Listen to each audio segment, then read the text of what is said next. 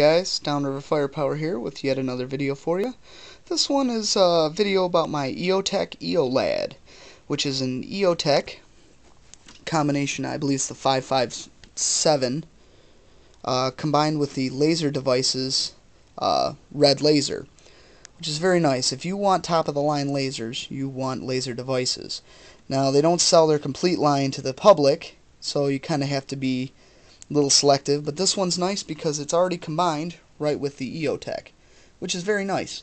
Uh, easy to adjust, very easy to use. Comes with a nice little comes with a nice little cover that uh, fits really nicely onto the laser there. Uh, it is push button operated once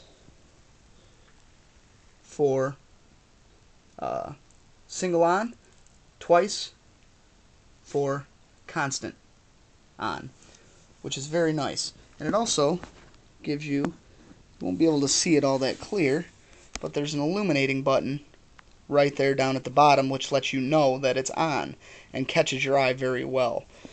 Uh, has some different knobs here. You can put it for constant on and off to turn it completely off. That way even if your finger slips you won't activate the laser which is very nice. Now for an EOTech, anybody who hasn't seen an EOTech,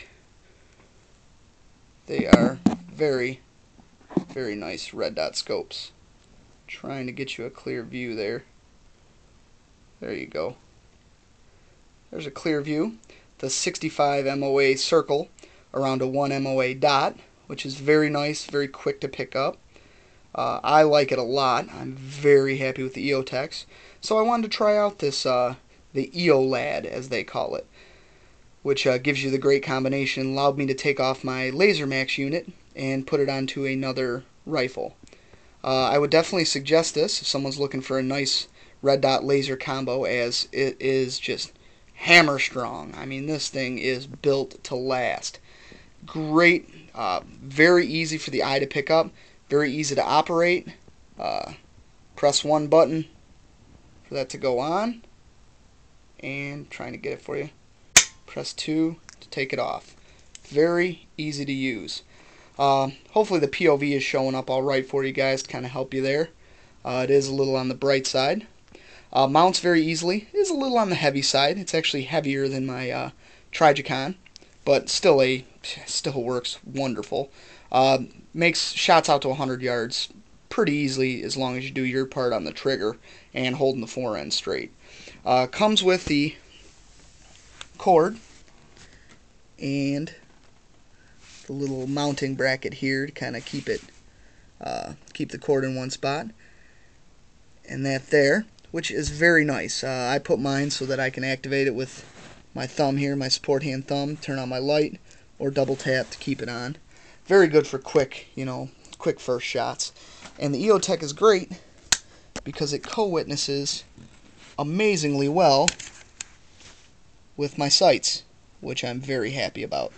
Um, so if you're looking for an EOTech and you don't mind spending a little bit of money, I definitely suggest going with the EOLAD. I uh, don't think you'll be disappointed. It's money well spent, especially if you were going to put a laser on it anyway. Um, definitely gets my recommendation, as well as the Knights armament, but anybody who's seen my videos knows how much I love my Knights rifles. Uh, hope these videos are uh, keeping your attention, hoping everybody's liking them so far.